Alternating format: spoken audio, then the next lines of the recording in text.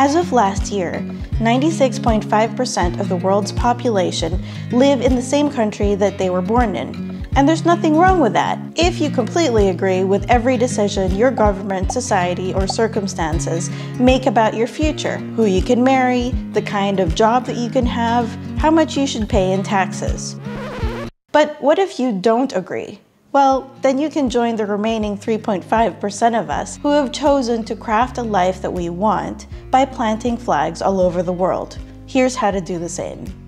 What is flag theory? Flag theory starts with the premise that it's unrealistic to expect any one country, like the one that you happen to be born in, to be the best for you in every way. Instead, flag theory suggests that you may be better off by strategically picking countries for every major aspect or flag of your life. The first flag is nationality. Unfortunately, we live in a world where borders matter. I was born in the Philippines, which is a third world impoverished country, and that comes with a lot of baggage and negative connotations. So having a Philippine passport, it's not so handy when you want to be able to travel the world freely. So what happens when you get an Australian passport? Then doors start to open for you. People suddenly look at you with less suspicion just because you have this blue passport. And what if you add a Dutch passport to that? Suddenly all of Europe is open to you for living and working there. I am Filipino, Australian, and Dutch. I have all three nationalities. Yes, it's legal, and no, my last name is not Bond. Like it or not, there are connotations that come with different nationalities and different passports, and we get treated that way by people that don't know us from other countries. With multiple passports, I can choose to show the passport that opens more doors depending on what I'm trying to do. So if I'm trying to move to another country in the EU, ja hoor, ik woon in Nederland. Or if I'm trying to enter New Zealand, mate, I'm Australian. And if I'm trying to pay less in visa fees entering Vietnam, Filipino po ako. There's other benefits to having other nationalities. If your original nationality is a little bit more restricted in terms of freedom of speech or sexual orientation, this opens up your options to go to another country if suddenly the laws change to where it's not favorable to be who you are. Your nationality tends to also dictate your level of education. Do you have to pay and be in debt for tens of thousands of dollars all the way into your 50s? Because that's normal in the US, but it's not so normal in countries like Australia. Your nationality can limit the types of jobs that you can apply for, and it may even come with some negative tax implications.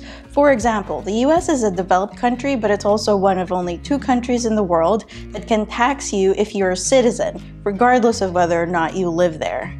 That can make it less appealing of a citizenship to hold on to.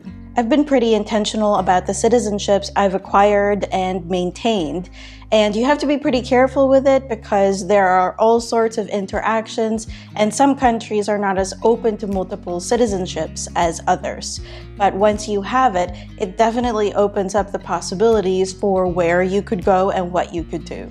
The second flag is residence, so that's sometimes related to nationality, but residence is about where you live rather than the citizenship that you have. Officially own a house in the Netherlands.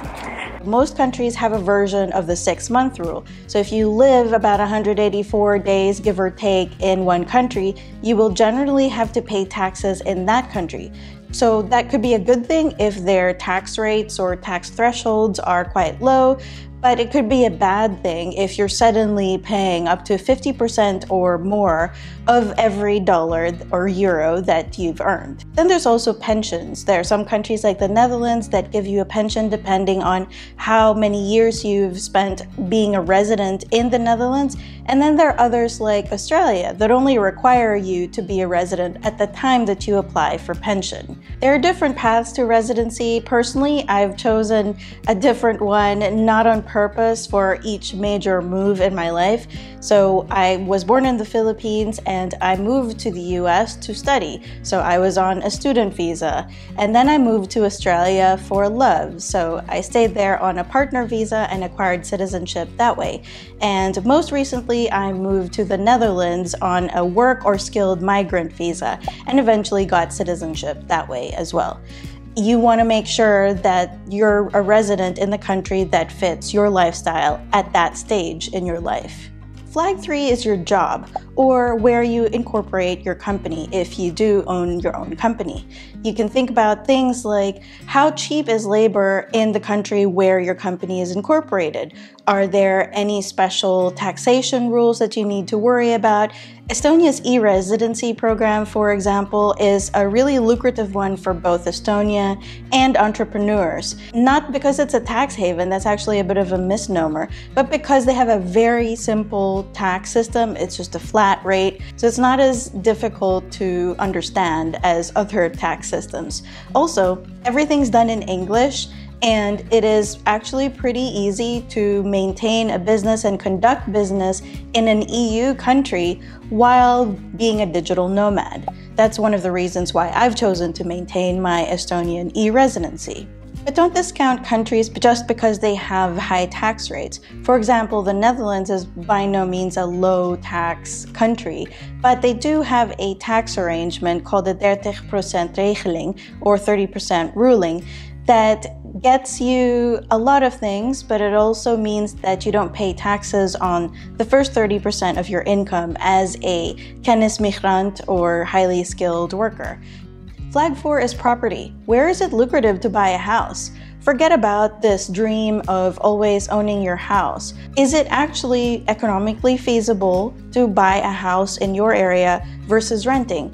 If it's not, then keep renting and then buy a house elsewhere. Here's a bit of a sample of interest rates around the world. In Australia, it's about 2.4%. In the Netherlands, it's 0.97. In the Philippines, it's 6%. And in Portugal, it's 0.92%.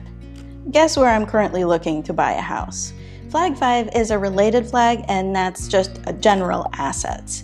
Geographical arbitrage really shines here because there's a lot of money that you can make just by being smart and comparing interest rates and yields and returns across many different countries. So by assets, I'm talking about term deposits and shares and stocks and dividends and cryptocurrencies even. And there are going to be countries that are more appealing to invest in than others. It's not all about the bottom line return though, it's also about the security and safety of those assets. If you're putting a large amount of money into the banking system of a country, then you better make sure that that country has strong financial regulations that prevent them from restricting when you can take that money out, as what happened in Greece not too long ago. So that was the five main flags, but there are a bunch of other flags that we plant without even really thinking about it. So if you have a VPN or a virtual private network, do you know what country that that company is incorporated in? Because that could have ramifications on the control that they have over your data and whether or not they can sell that on to other people. If you host your own website or another application, where are your servers being hosted and what are the laws in that jurisdiction for accessing your data?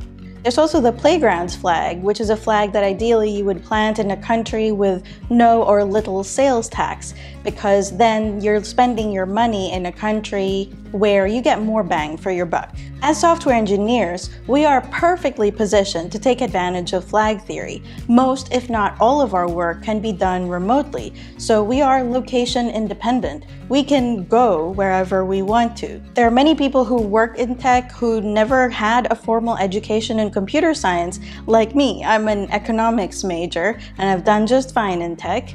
And that means that our jobs are not education dependent. We don't need to be certified in a country to work there. We have relatively high incomes, which means that we're better able to take advantage of opportunities elsewhere and we are also considered highly skilled by most countries. If you're interested in cross-skilling and figuring out how to learn new things quickly so that you can go and plant new flags elsewhere, then you may be interested in this video that I made with my number one tip that I would have given myself 10 years ago. And if you're interested in what I do for a living, check out this video on a work week in my life as a developer advocate. As they say here in Portugal, obrigada. Thank you for watching.